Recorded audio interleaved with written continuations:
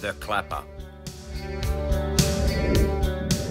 Start with one foot on the ball and the other foot behind. Quickly switch by rolling the ball back and bringing the back foot forward. Catch with your toes, then roll out away from you and catch with the opposite foot. Prepare to roll back and switch feet. Prepare to catch the ball with your toes and return to starting position.